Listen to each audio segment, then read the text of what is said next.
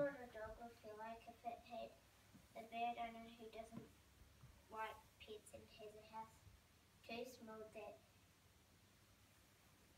the person won't want the dog to come and, and the owner isn't looking after the pet right.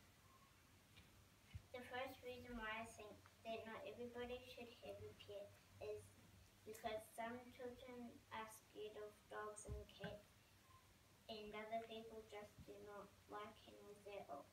Kids who are scared of animals will not like having them in their house because they might not like big animals or animals that jump up on them.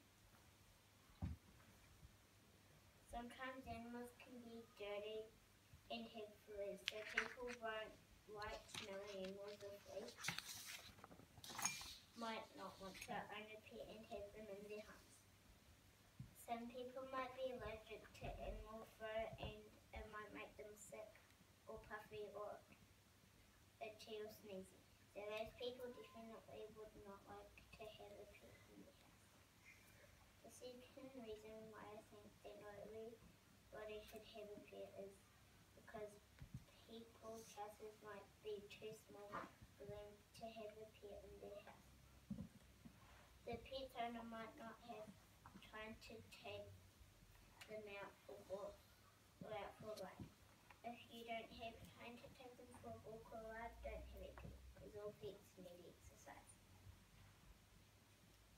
If you live by a busy road, you shouldn't have a pet because your dog or cat could get hit by a vehicle and die, while you are away. And if that was your pet, you'd be devastated if your pet died. It's not nice to leave animals shut in the house all day because they might want some fresh air and exercise or need to go to the toilet. It is important to make sure you feed your pet and look after them well. So if you can't do that, you should not have a pet.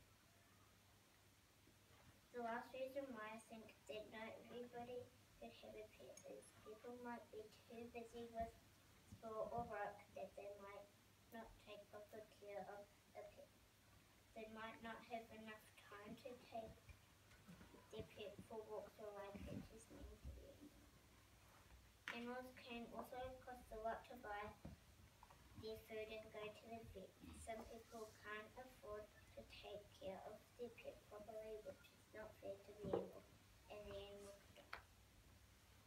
Let me remind you the three reasons why I think that not every child should have a pet.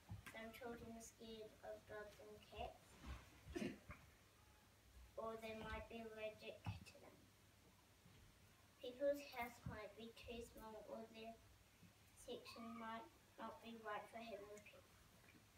Some people might not be able to look after a pet properly, or they might not be able to